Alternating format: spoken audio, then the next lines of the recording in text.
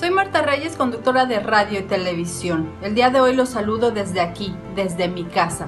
Los exhorto a ser responsables y conscientes. Los exhorto también a seguir todas las medidas que tenemos que seguir con respecto al COVID-19. Por favor, es importante que se mantengan tranquilos e informados. Y lo más importante, quédate en casa.